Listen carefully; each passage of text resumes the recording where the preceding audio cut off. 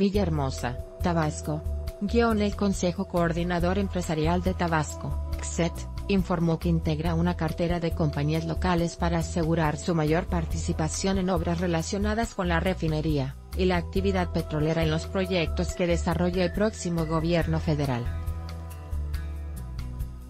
El clúster, encabezado por el empresario local y coordinador de la Comisión Energética del CSET, Jesús Alberto Orozco, busca reunirse a la brevedad con quien ocupará la Dirección General de Petróleos Mexicanos, Pemex, Octavio Romero Oropesa.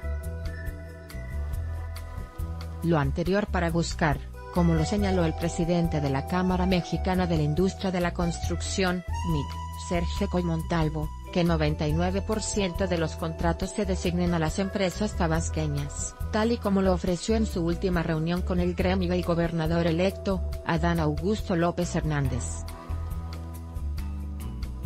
Ya levantaron la mano en conferencia de prensa, Jesús Orozco Oropesa, acompañado por el presidente del CSET, Pablo Jiménez López, dijo que, al menos, 30 compañías locales han mostrado interés para buscar contratos en los próximos años con la empresa productiva del Estado.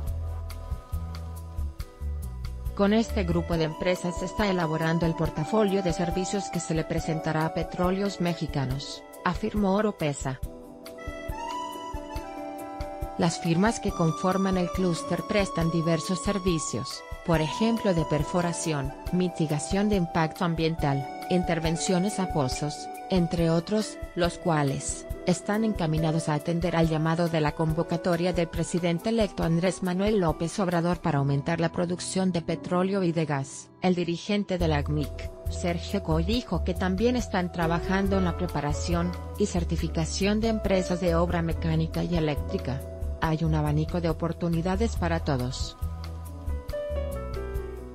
Tabasco para los tabasqueños. Es lo que siempre hemos hablado, y alzado la voz los que estamos en el Consejo Coordinador Empresarial, que no vengan empresas de fuera a quitarnos lo que por derecho nos corresponde, ya que como saben estuvimos muchos años marginados y sin trabajo, puntualizó Coy.